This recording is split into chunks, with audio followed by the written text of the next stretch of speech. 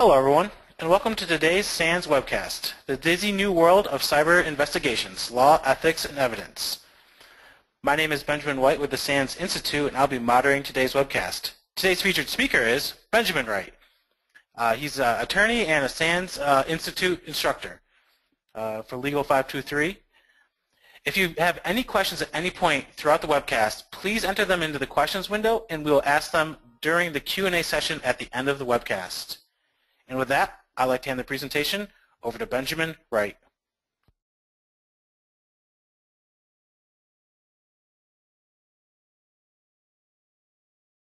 Hey Ben, I think your uh, handset's muted.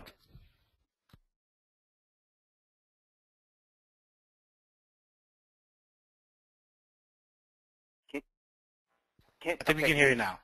Yep. Can you hear me now? Okay. Uh, thank you uh, very much. Uh, this is Benjamin Wright. I am uh, an attorney in Dallas, and I am honored to address this group on the topic of cyber investigations.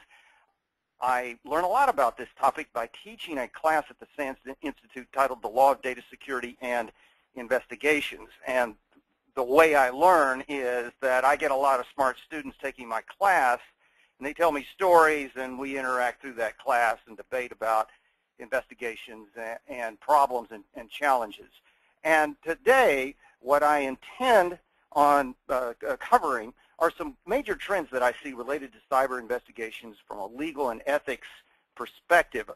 I uh, see the value and the risk associated with experimentation connected with cyber investigations.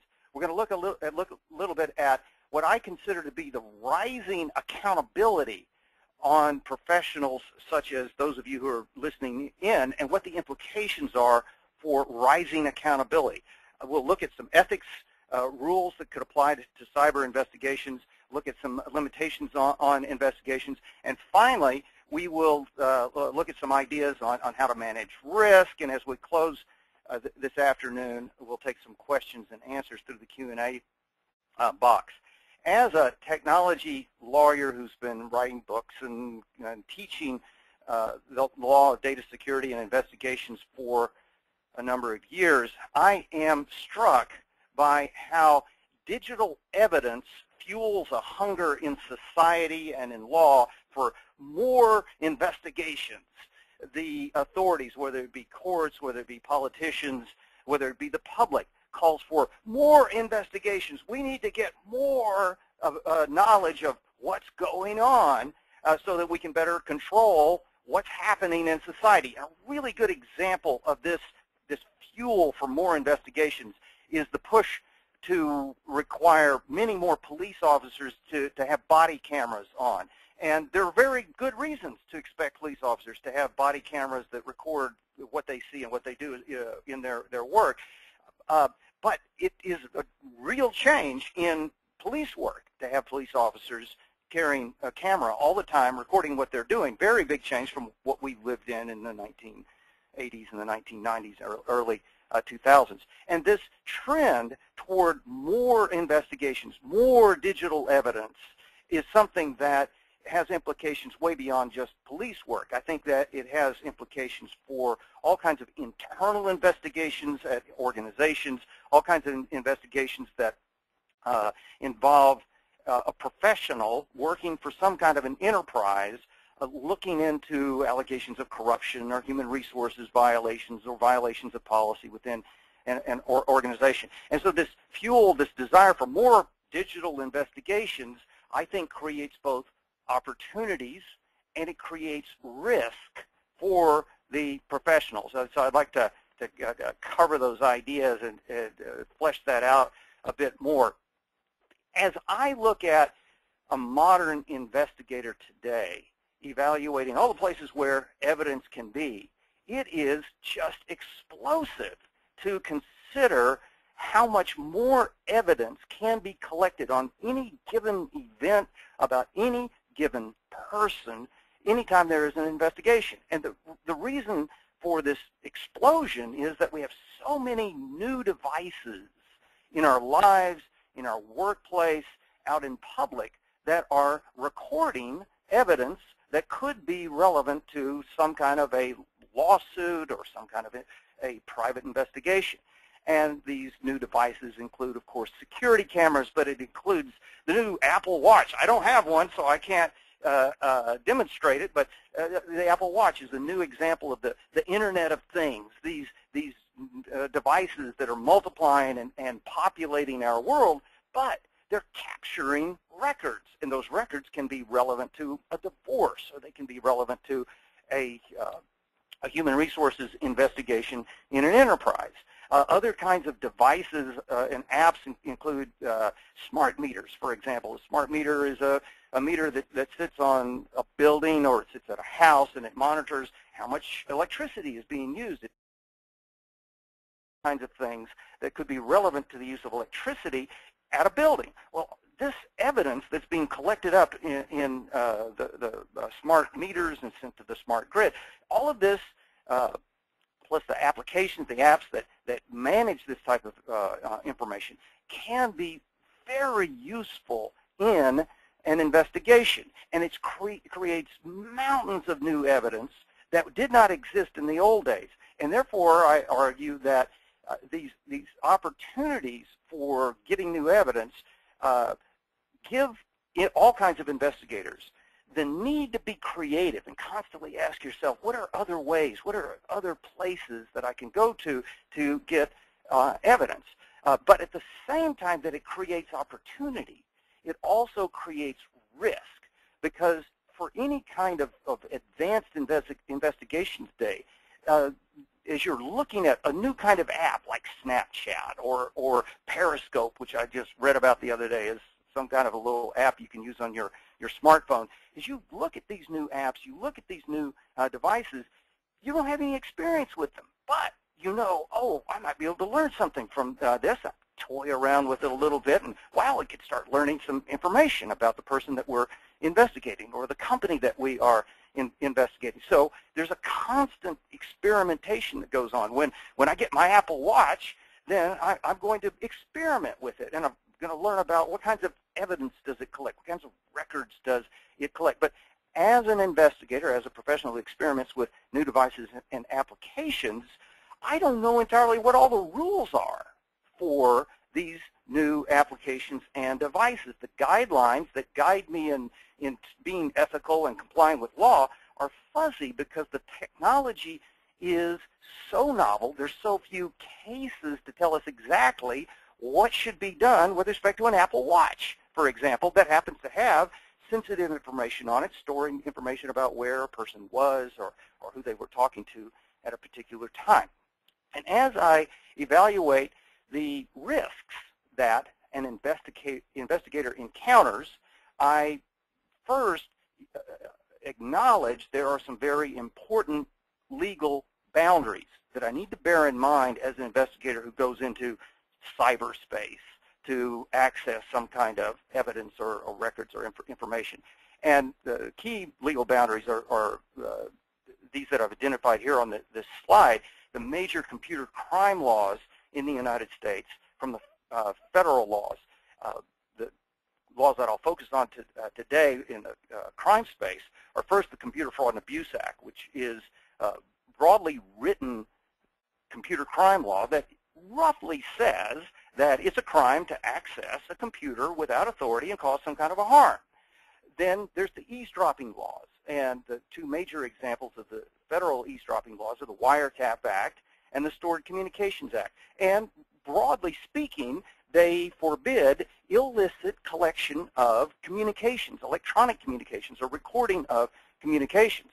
Uh, there are exceptions, and there are reasons to uh, uh, be able to collect information under these laws, but you've got to watch out for these kinds of things. One aspect of these computer crime laws that I've just identified that's quite striking is that these are criminal laws, which means that uh, normally they're enforced by the government in the form of the prosecutor uh, indicting someone and taking them to a criminal trial. And you can lose a criminal trial and you go to jail. But there's another way that these laws are enforced, and it's called a private right of action. And what that means is the victim of violation of one of these laws can sue the investigator and get money. And wow, that really opens up a lot of risk. And a good example, a striking, maybe a scary example of a private right of action with respect to a cyber investigation, uh, investigation is this uh, Clements Jeffrey uh, case that in, involved uh, investigative company named Absolute Software. Absolute was hired by a school district to put surveillance software on a laptop that belonged to the school district. The laptop was stolen. It was sold to a woman who had no idea that this laptop had been stolen. She had no idea that it had surveillance software on it.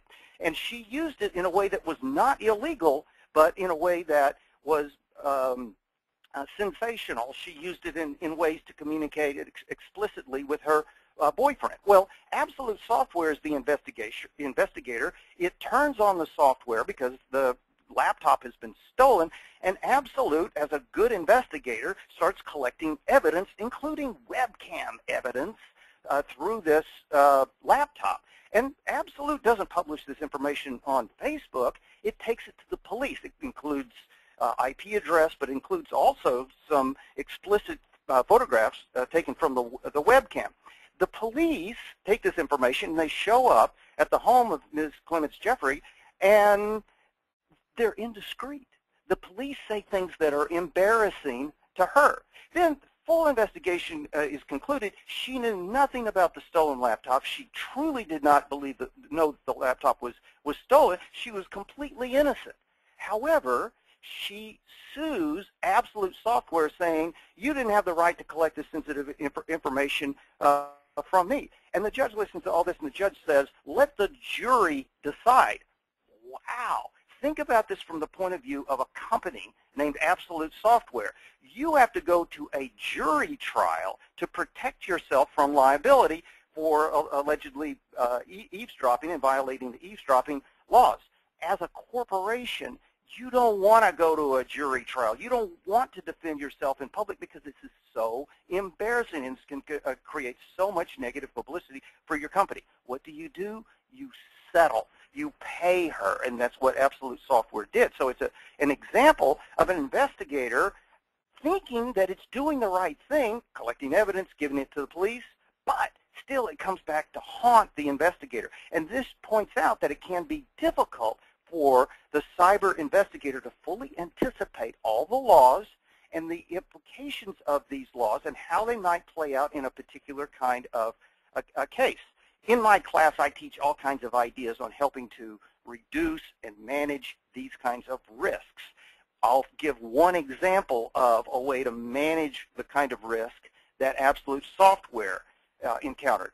I teach that a cyber investigator must exercise restraint and good judgment. And so uh, that's an easy thing for me to say, but it's hard for an investigator to ingest and actually implement that idea.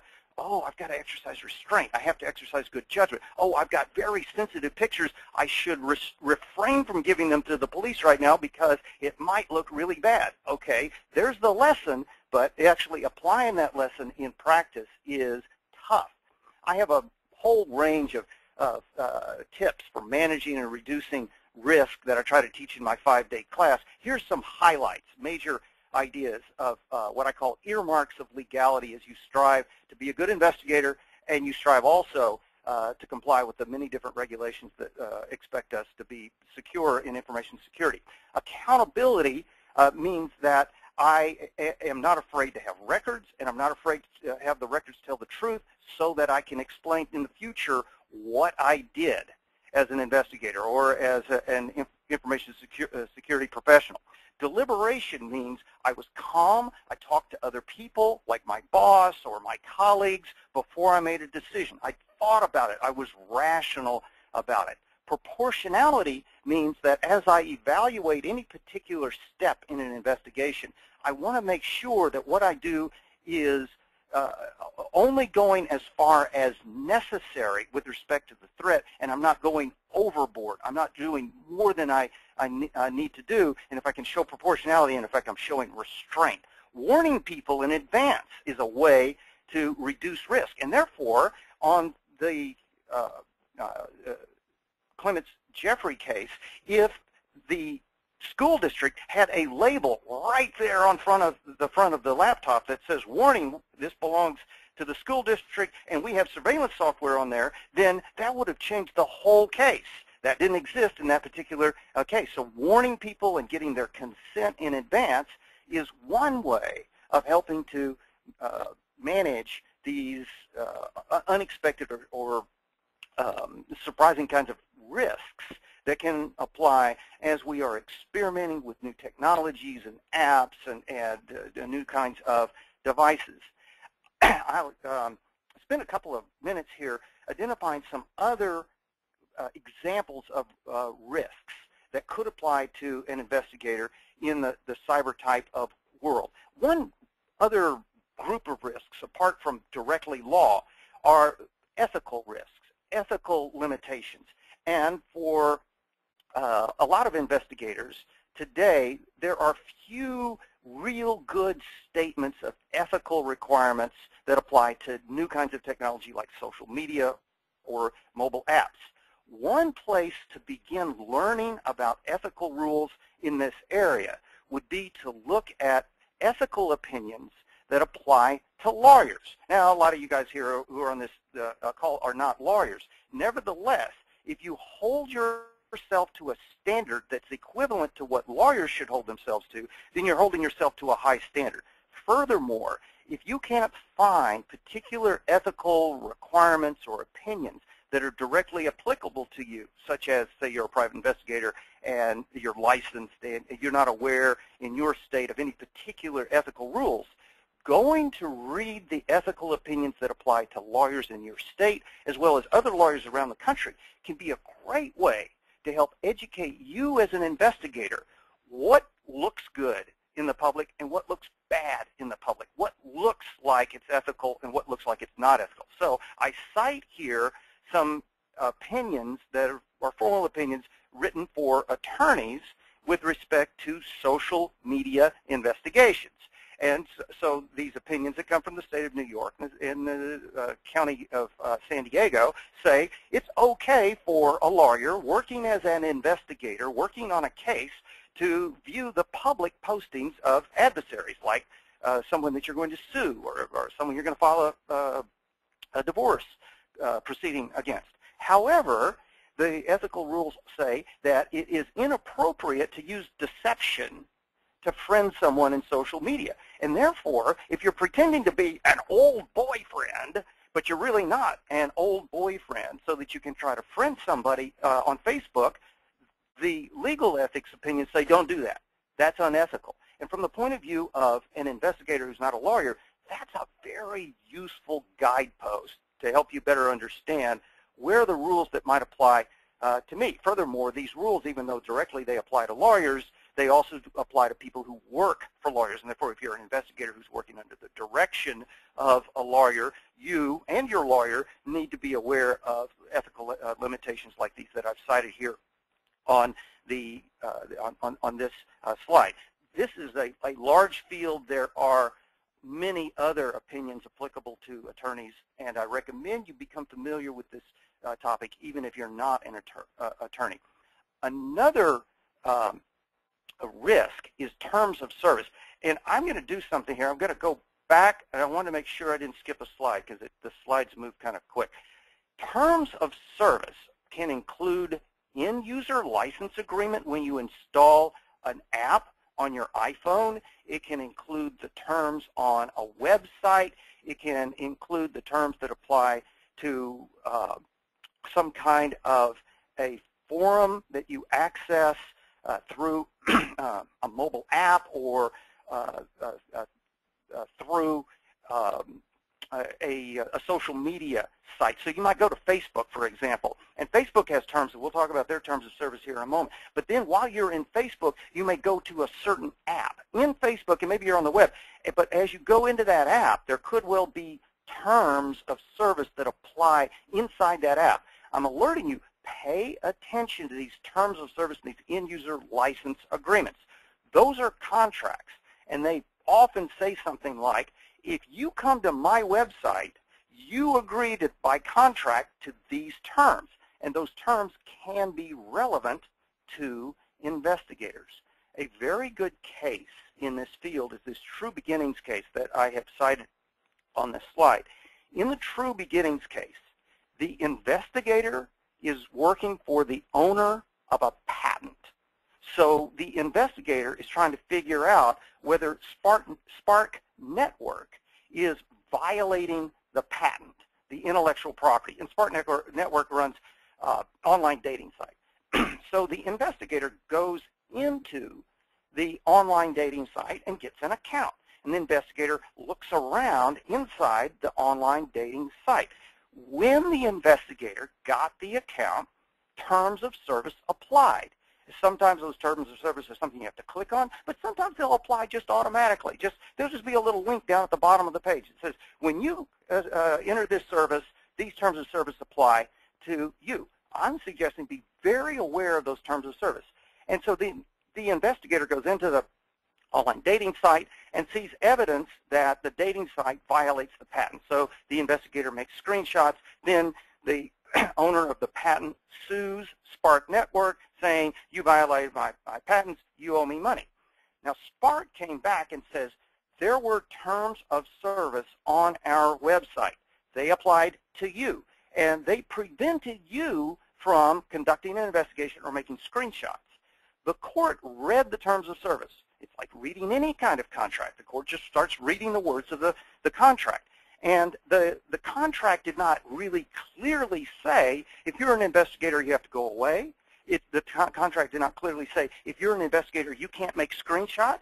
What the contract said was merely, you may use this site only for personal purposes. And so the court read that, only for personal purposes. Okay, is an investigation with screenshots for a patent personal purposes? The court said that terms of service can, in fact, forbid an investigator from engaging in her work. However, the court interpreted the particular words of the terms of service in this case and said these terms of service do not uh, forbid the investigator from doing what he did. Therefore, the evidence is allowed in. We're not going to kick out the uh, screenshot. One of the things we do a lot in my class uh, at SANS is we talk a lot about writing words and writing your words accurately. And here was a great example of a website owner not writing the words that he really wanted, and therefore his words failed when he got to court. But the real reason I'm teaching this case is watch out for terms of service because when you go visit an app, that app may well have terms that apply to you and may limit what you as an investigator are doing take a look at the legal terms of Facebook. I'm quoting from Facebook's legal terms that apply to everybody who uses Facebook, including an investigator. It says, if you collect information from users, you will obtain their consent. Really? You have to obtain their consent? What if you're an investigator going to look on the public part of uh, a web page, of uh, a timeline of a user on Facebook? You're looking at the public timeline of the user, and you're just there looking. Well, according to, and for the purpose of gathering some evidence, like taking some notes or making a screenshot, according to the literal words of Facebook, you have to get that guy's consent first. Wow, that's a pretty broad statement because I might be an investigator working for a divorce lawyer, and I'm looking at our adversary who's the spouse against whom we're going to file the divorce, and I don't want the spouse to know that I'm looking at the spouse's page because we haven't even told the spouse that we're going to file the lawsuit or the, the, the divorce. Well, this, in its literal terms, says I have to get consent. That's a very interesting concern. And um, my larger message here is that as you go around on web pages and mobile apps, you see many kinds of terms of service that might limit an investigator's work. Now, I've been making a lot of noise about these terms of service on Facebook for a couple of years, and I've not seen anyone actually invoke those terms of service in a lawsuit yet. And maybe if one of you has seen that, I'd love to know about it. Uh, and, and, what happens, and I'll show you some cases here, in truth, uh, evidence from social media like Facebook is used all the time in lawsuits and in criminal investigations. And so far, I've not seen anyone raising these broad terms at Facebook or similar social media sites as a way of getting evidence uh, kicked out. Uh, but I, I, I uh, raise that as a concern. I don't believe that these broadly written terms at Facebook are necessarily going to prevent investigators and police officers from and prosecutors from using evidence from uh, uh, Facebook where they collect a screenshot or, or uh, something without the prior consent of the uh, user. It's very, very common that Facebook and, and other kinds of social media evidence are used in um, all, all, kinds of investigations and lawsuits. However, I uh, believe that the investigator is wise to recognize this theoretical risk and therefore be restrained in what he does. And uh, restraint includes I'm only going to look at what's necessary for the case. I'm not going to look at a whole bunch of other stuff that's un unrelated to the case. That's consistent with an idea called proportionality. Uh, proportionality means I only go as far as necessary and I don't go any farther than necessary. Today, social media evidence is very, very commonly used in all kinds of legal proceedings, stretching from criminal uh, uh, prosecutions to uh, much less formal uh, proceedings such as a proceeding in a family court where the family court judge holds a lower standard for admitting evidence and considering evidence. As many of you know, the standard for uh, prosecuting someone with evidence in a criminal trial in the United States is proof beyond a reasonable doubt, and that's a very strong standard, very high standard. But in other uh, uh, legal proceedings such as family court, the standard can be much lower, and a family law judge may say, I don't need proof beyond a reasonable doubt, and therefore I'm not going to be a very have a, a, a very uh, heavy filter as to what evidence is presented to me. I'm a family judge, and I'm trying to protect children, so show me the evidence, and, and I'll make a decision on whether it's uh, credible or or not. And therefore, the use of social media evidence and other kinds of cyber evidence varies tremendously across our legal system. And today, a lot of cyber evidence is used uh, in all kinds of in, in investigation, all kinds of uh, lawsuits. I do note some criminal courts expressing skepticism about some social media evidence. And so this Elliott case is a, an example of a criminal court that would not allow a Facebook message to be admitted uh, because the court said, well, how do I know that that Facebook message actually came from the person in question who was a, a, a witness? How do I know that someone didn't steal their password, for example? And the court raises a legitimate concern around authentication of social media e evidence. But if you were in a family court, uh, for example, it's very possible the family court would not have taken such a, a, strict uh, interpretation of uh, the requirement for, for evidence with a family court would say, I don't need evidence uh, beyond a reasonable doubt. Just let me see the Facebook messages and I'll e evaluate it.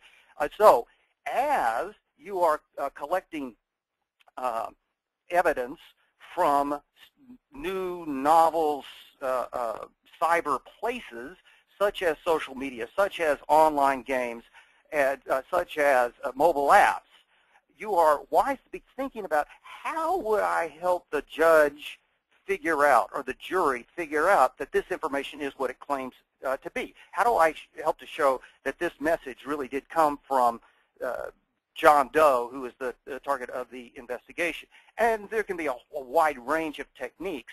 Uh, you might interact with the user. For example, notice I put in parentheses, if permitted, because in some circumstances uh, you might not be permitted uh, by ethical uh, or other uh, limitations. But interaction might be you see a message on Facebook that says, I'm going to beat up Sally, so you send a, a text message by phone to the target of the investigation. Say, really? Did you intend to say that you're going to beat up Sally? And you get a text message back from the, the target. said, yeah, I intend on beating up Sally. Okay, now you're getting evidence from two different directions and therefore you may be corroborating the original evidence on Facebook and being able to do a better job of helping to show to the judge and the jury that, in fact, this evidence really was authenticated. This Tienda case illustrates that not all criminal cases are the same. Not every civil law case is the same. So that a criminal court uh, in the Elliott case, as I saw, we saw a few minutes earlier, uh, stated skepticism about the authenticity of something out of Facebook. In the Tienda case, the defendant in a criminal case was a heavy user of MySpace. And the defendant had lots of pictures, pictures of himself, pictures of his buddies.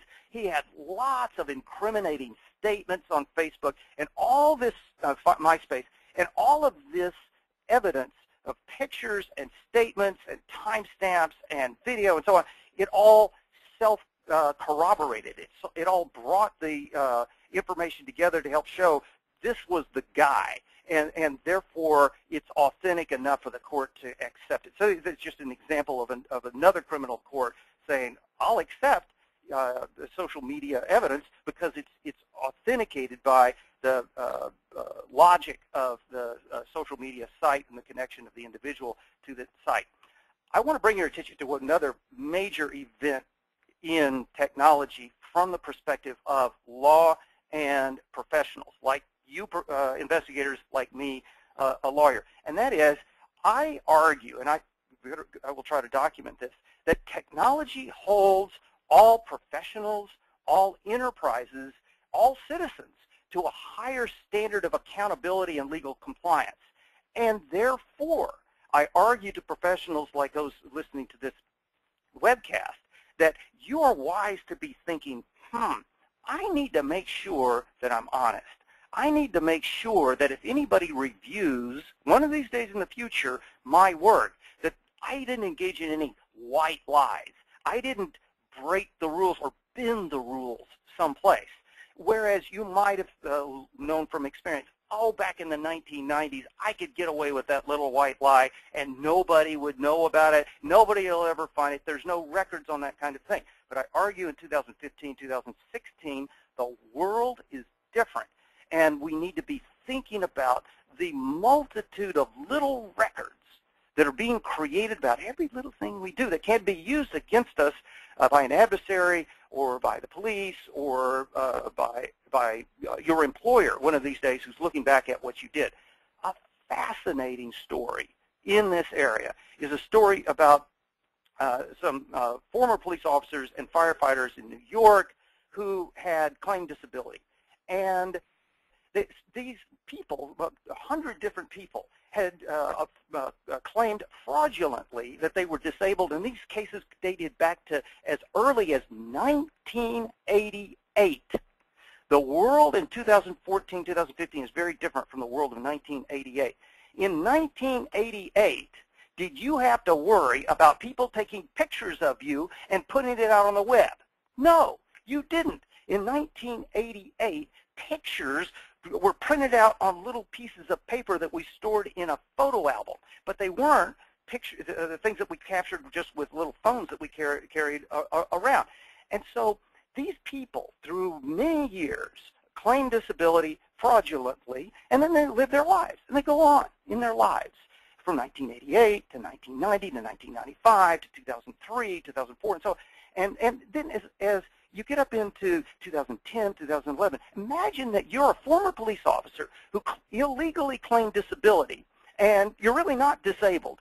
Might you start getting concerned in 2010 and 2011 about grandchildren making pictures and videos of you? You might go, oh no, kids, don't be making pictures of me because I don't want pictures of me uh, uh, up on uh, uh, Facebook or something like that uh, that might show that I actually am not disabled. And what investigators ultimately uncovered in 2013 was uh, an explosion of evidence coming out of social media where you go onto Facebook and start looking around for these people, and inevitably there are pictures out there and videos out there of these people out having a great time, out exercising, out engaged in deep sea fishing. So there was a photograph of a former police officer who was disabled, but he was out deep sea fishing. He had captured this enormous fish, and there was a picture of him out on Facebook holding this 50, 60 pound fish. Well, if he can hold a 50, 60 pound fish and catch the thing, is he really disabled? But what happened was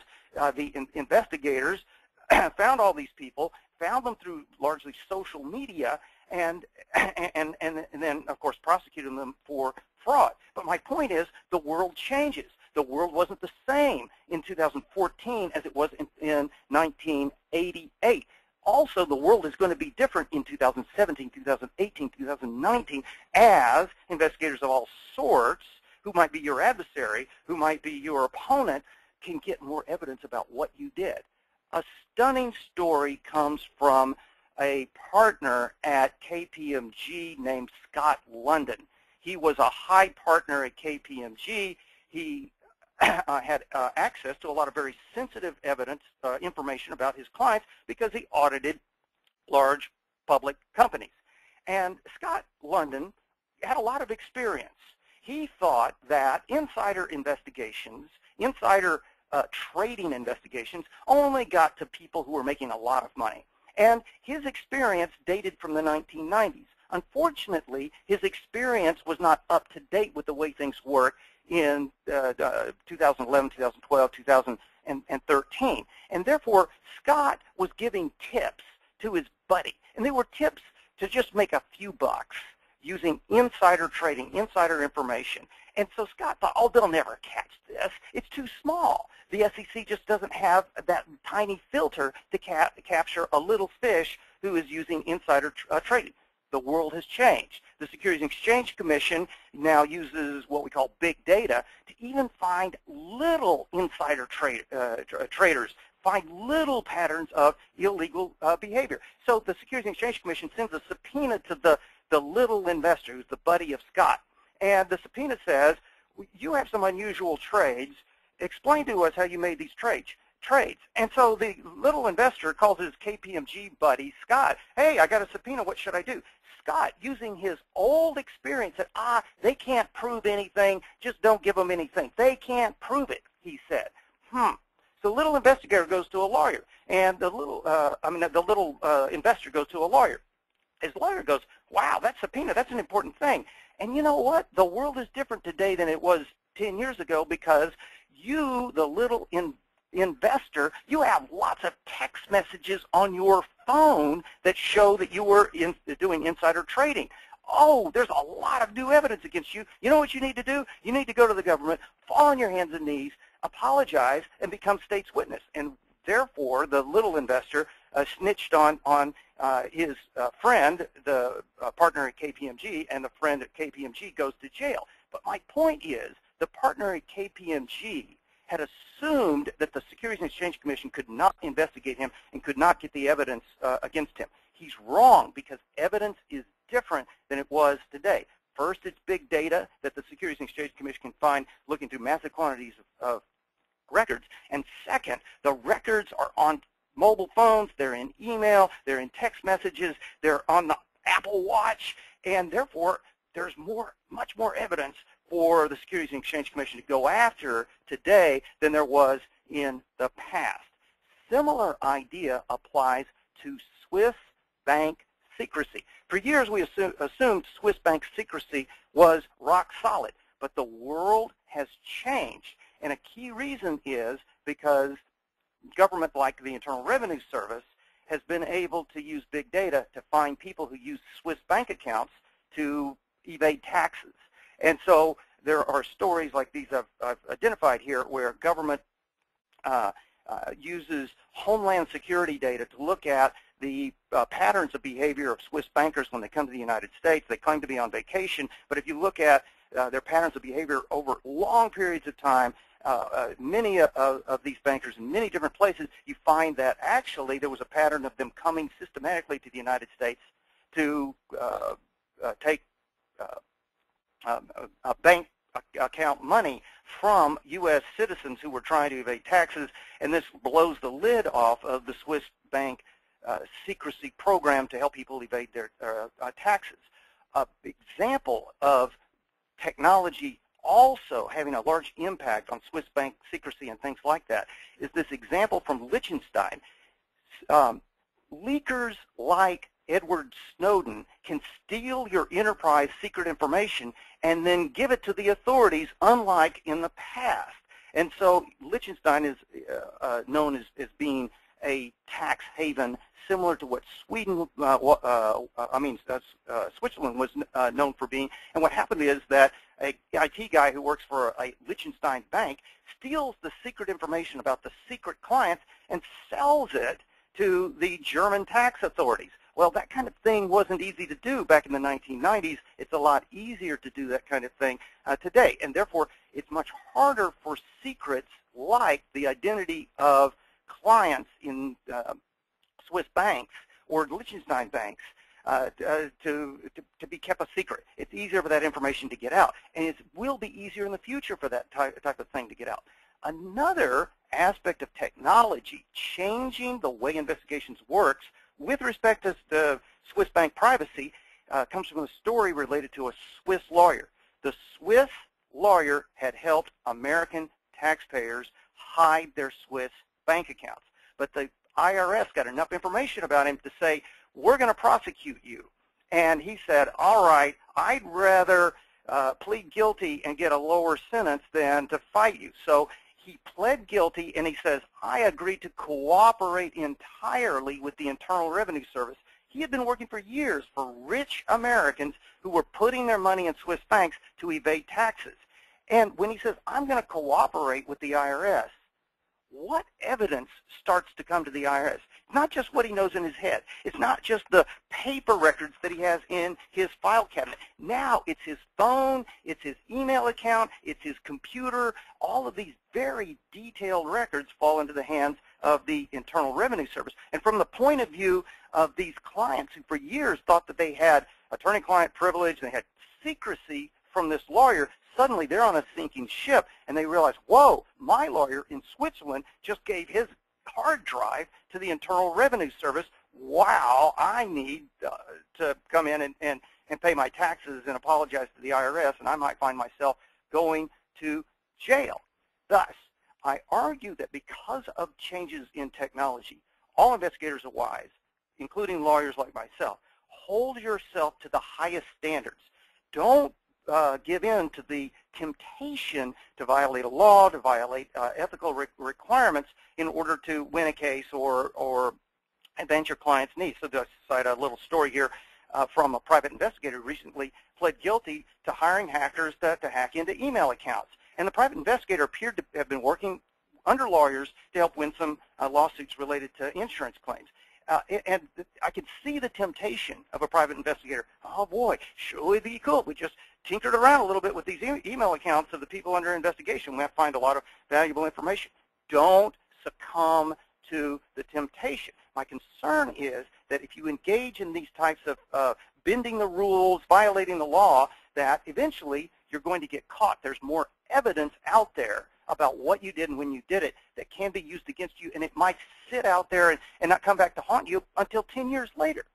There is a temptation, even among well-meaning people, even um, among uh, very responsible people like you and me, to, oh, have little white lies, oh, a little bit of deception. And today, that kind of attitude is riskier than it was in the past. Fascinating example. Recently, there was an investigation at the University of Texas where the Board of Regents asks the president of the University of Texas, do you, the president, give uh, uh, special accommodations to students who don't have good credentials, but who are connected politically or uh, connected by, by money. And the, the president wasn't forthcoming about this. He didn't give candid answers to this. There was a deep investigation. Ultimately, the University Board of Regents learned, yes, University of Texas uh, President's Office allows some 70 kids a year into the University of Texas because they have connections. And so the president, he resigns, and he finally admits, yes, I've been doing this. And he, he had rationalized in his head that there was a good reason to do what he was doing. He said, well, it was in the best interest of the university that I uh, accommodate people who are politically connected or have a lot of money. And he said, everybody does it. Well, that's an easy rationalization. And, and for a lot of professionals or executives, it's easy to rationalize. Everybody does it. But I'm suggesting it's harder to get away with it today than it was in years in the past. So a uh, few other ideas here on managing risk uh, in your you're in some kind of investigation. Let's say that you have, you're running a human resources type of investigation internal to your your enterprise. Uh, a lot of guys at SANS uh, you say, okay, we're going to investigate this person. The first thing you do is you start going around and grabbing evidence, uh, maybe on their phone, maybe out of their uh, email, maybe off their computer, and, and, and so on. However, I argue that there can be risks to grabbing uh, too much evidence too quickly, arguments that you um, had uh, infringed on the privacy of the employee or, or that you looked at evidence that you, you shouldn't have looked at. Here's an idea. Uh, in, instead of immediately grabbing a lot of electronic data, you might start with a preservation letter, which I'll explain in the next couple of slides. The preservation letter says to the, to the, uh, the target of the investigation, we're investigating you, don't delete any records. That puts a lot of pressure on the target of the investigation because if she starts deleting records, she's digging a hole for herself. Then after with a preservation letter, you say don't delete records, then have an interview where you sit the uh, person down and you're taking notes and you start asking them plenty of questions. Did you do this? Did you say this other bad thing to John? And, and, and so on. If they lie, they're digging a hole for themselves. But it's very possible in a modern investigation, a modern interview, the subject knows, you know what, there's ultimately records that can be found out there that will implicate me, therefore I better tell the truth. And that can be a much softer way of getting to the truth rather than immediately grabbing an awful lot of evidence, maybe off of uh, uh, Facebook, for example. So uh, what's a preservation letter? A preservation letter is a formal statement by an investigator, which could be the employer, that says we have some reason to believe that, you, that there's something to investigate here. We have reason to believe you may have evidence, such as on Facebook or on your personal phone, and you should not delete that uh, uh, evidence. So that preservation letter can put quite a bit of pressure on the data subject in the, um, in the, the investigation subject in the modern age. And I argue that modern investigations in 2015, 2016 are different because the quantities of electronic evidence are so much greater than they were 10 years ago. Final thought for managing risk related to cyber investigations is work with your attorney under appropriate circumstances, guided by your attorney. Your attorney can say, we will open an investigation on the topic about whether John said something to Sally. Then the attorney can cloak the investigation under what's known as attorney work product. An attorney work product is a little phrase you can look up on, on Google. We talk a lot about it in my course. Attorney work product is like attorney-client privilege. It cloaks confidentiality around something. So an attorney leading an investigation can say, uh, I'm opening the investigation under attorney work product, and then she could commission you to go gather the evidence. Well, your work, gathering the evidence, your investigation is normally cloaked under confidentiality, and therefore it helps uh, to ensure that you do an investigation, but you don't have to turn over the investigation to your adversary in court one of these days in the uh, uh future. Uh, this attorney work product confidentiality does not excuse excuse illegal activity, and it doesn't uh, prevent ultimately the underlying uh, source evidence from being turned over, but it does protect the uh, direction of your investigation. And so this comes to the conclusion of my uh, prepared remarks. You see I've got a website, benjaminwright.us, which links to my blogs. And recently, uh, just like yesterday, I posted a new blog art article that's related to the topics, topics we've discovered, discussed here. So I would be thrilled if uh, some of you would come and look at my blogs and read uh, articles that I've written and uh, uh, leave comments. Also, I'm just remind you what I've said here is not legal advice. Uh, if you need legal advice, you should consult a uh, lawyer. Uh, but at this time, I'd like to uh, switch over and see if there's any questions that have come in from the audience. You can see here in the, the bottom slide, the bottom of this slide, places and times where we'll be teaching Legal 523 live later this year. So Ben White, do we have any questions? Yes, uh, I've posted the questions for you in your uh, chat window. Okay. Um, I'm gonna. I'm scrolling through these. I saw one question. I'm gonna. Frankly, I'm going to say to the person who asked it, it said, the question says, where does parallel construction fit in with holding yourself to higher standards? The answer is, I don't know what parallel construction is. If you can give me more information, maybe I can answer it. Then uh, there's a question that says, if a malicious actor is trespassing on your equipment, are there any gotchas to monitoring their activities or allowing other entities to monitor these uh, these activities. Uh, okay, my interpretation of a gotcha is okay. Guy hacker is on my equipment. Uh, I'm monitoring him. I'm gathering evidence uh, in him. Could I, the investigator, get in trouble? Here's an argument, a concern, and that concern is that the laws of all countries in the world could apply all at once to this event. And, and you don't know where this bad guy is from. You don't know what country he's from. You don't know what his uh, the rules of uh, uh, criminal laws are in his country. And therefore, there is the theoretical risk that as you're capturing evidence that maybe you're violating an eavesdropping law in his local country. It's a theoretical possibility. And thus, one of the things that I like to do is use uh, terms of service on my equipment. And my equipment says, if you come to my equipment, like my honeypot, you agree to me monitoring you and capturing evidence about you. And so it's a, a, way to help contain the theoretical risk that otherwise I violated his, uh, his right to uh, privacy. We talk a lot about that in my uh, class. Okay, I've got another question. It says, comment. If I were a defense attorney, I would argue that you, the state, agreed to the terms of service of Facebook, and then you violated my client's rights by not following terms of service and notify him. Uh, who, uh, yes, I agree with you. You and I perfectly agree. If anybody has seen an example of a case like that, of someone raising terms of service from Facebook to prevent evidence from being used in a criminal trial or a civil court, send me an email. I want to know about it. I've never seen it. I agree with the commenter. That is my interpretation that it could be used, but I can't, I can't find the case yet. I've been looking around. Okay, uh, next.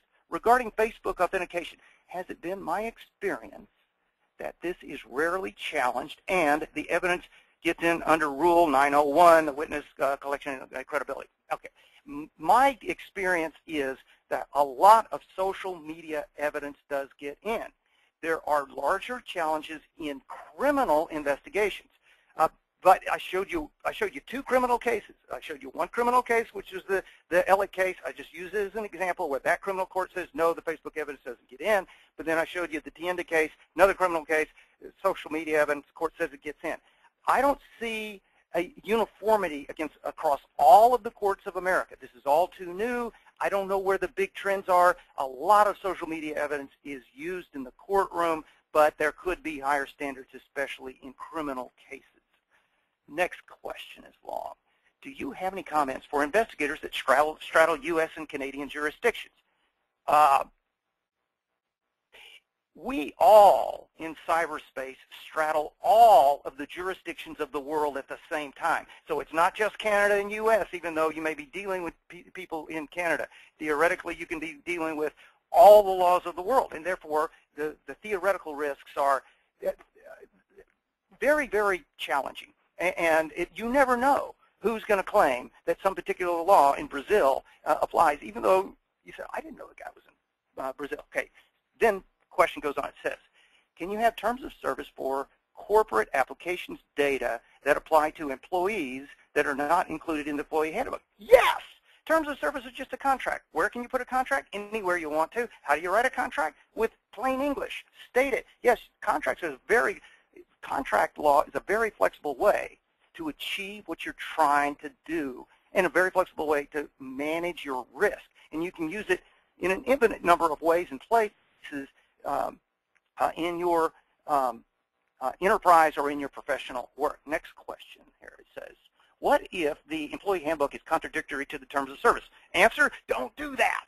Make, try to make your terms of service uh, consistent with the employee handbook. And when you state multiple terms, multiple rules, multiple policies, and they're inconsistent with each other, I don't know what the outcome is going to be, but you've got a problem. Don't do that. That's one of the lessons I try to teach in my, my class.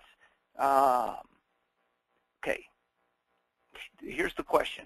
Is, quote, cause harm, close quote, part of the Computer Fraud and Abuse Act honored in the breach by prosecutors? I'm not sure I follow that. Uh, and this cause harm thing is a paraphrase. I don't have time to go through all the details of the Computer Fraud and Abuse Act. It is a, it's a broad, broad um, overall discussion that I've provided here of the Computer Fraud and Abuse Act, but I don't I don't understand your question. Uh, okay, uh, now let's let me see if any new questions. I, I went all the way. I went from the bottom to the top. Um, okay, I see a new question. It says, work product privilege is a compelling reason to do the work for the attorney and not the client. Okay, I kind of follow that. Often, the attorneys forget this and try to establish privity of contract between the investigator and the attorney's client in order not to be on the hook for the bill if not paid. Well, that's a very interesting comment. It sounds like it's from a lawyer, and I'll accept the comment, but I don't think it's telling. I don't think it's asking me a question. Okay, next que question. What is the issue with using third-party purveyors of social media data, e.g., Twitter? I don't know what you mean, third-party purveyor. Um, I, I, don't follow the question. Um, next question. Have you seen occasion where evidence was collected or requested from a cloud application or a cloud-based company? Answer, yes. Okay, then now it's going on to the next part of the question. It says, if so, does the location of that cloud-based equipment and those cloud-based files uh, relevant or particularly significant? Yes, yes. And so, uh, for example, Microsoft right now is in a major protracted lawsuit with the United States Department of Justice. The Department of Justice is Microsoft. You are a cloud provider. You are a U.S.-based company. You have a cloud server in Ireland. The evidence is in Ireland. And we, the United States Department of Justice, the prosecutors in the United States, we want the evidence that's in Ireland. It's on your server in Ireland. And the Department of Justice says, we order you, Microsoft, to go get the evidence in Ireland. Now, Microsoft says, no, that evidence is subject to Irish law, not U.S. law, and uh, a, a, lower federal court ruled in favor of the Department of Justice that says, Microsoft, go get the evidence out of Ireland. Microsoft is appealing and saying, no, it should not be U.S. law, and the U.S. authorities cannot order me, the service provider, to go get the evidence out of Ireland because the, the law of Ireland applies. Huge topic. The basic answer is we are just barely touching this field, and it is uh, we'll see a lot of litigation and confusion over this topic in the future about whose law applies to evidence that's in the cloud out there someplace. Next question. How about for public websites that have been closed and no consent is presented? Is that information legally available? Uh, watch out. When you, I, I don't, you've got to look at the fact pattern for a particular case. So the, this person who's asked me a question, as I interpret the question, says, okay, so there's a closed website. And then somehow I, the investigator, get into the website and collect information. Did I do something wrong? Did I do something right? I don't know. It, it depends on the circumstances.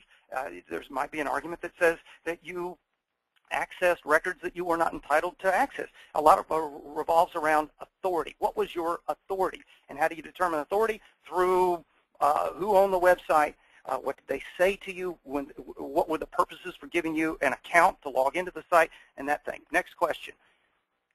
I am understanding that under work product doctrine, this is where we are investigating something in particular for a client intended for litigation engaged in a, a client's attorney. Or, this is a long question, and it looks like it's a lawyer, and I'm probably not going to be able to parse this question. And it says, or, are you suggesting we are using our own counsel when on assignment, just clarifying? I, I it's too complex of a question, and it, it's, it's, I can't get into it. Sorry. If, next question, if the event happened in the U.S., oh, Okay, it happened. It's a cyber event that happened in the U.S. You can be, you can say I'm being a little sarcastic. Okay, if the event happened in in U.S., will a foreign country execute a sentence issued by a tribunal in USA for civil lawsuits? Answer, okay, the, the, the, the answer is I can have a judgment from a court in the United States but the people who owe me money are in England or the UK or Japan. Can I take my judgment to Japan and enforce it against the guy who owes me money? The answer is very possibly yes, but it's hard. It's a big, it's a difficult topic, but a very possibly yes. Next question. Okay, this is a long, looks like it's a long one, and I'm not sure I'm going to be able to get into it because, you know, you ask these long, some of these questions, it's just too much to do through chat and, and um, a, a webcam. Um, okay, it's the last question, and we're getting to the end, so I'm going to do my best to get into this. It says, facts. Employee Code of Ethics prohibits, quote, unauthorized recordings, close quote. Okay, got that. Then it goes on to say, not otherwise defined. Okay, so Code of Ethics prohibits unauthorized recordings of an, by an employee. Then the next sentence says, in the absence of definition of who authorizes or how authorizes, is it reasonable to look to state law and or ethics opinion? It's always reasonable to look to state law. It's also reasonable to look to federal law. It's also reasonable to look at to ethic opinions. So I think the answer is you got to look at all the relevant laws, rules, regulations, guidelines, opinions. All of these things could be uh, relevant. So to, to whoever asked the question, the mere fact that there is some rule that's written in an employee handbook does not somehow prevent federal law from applying, state law from applying, foreign law from applying, or some kind of ethics from an appropriate authority from applying. I think that's the answer to your question. I have the top of the hour, and so I'm going to say it's been an honor to interact with you. I blog a lot.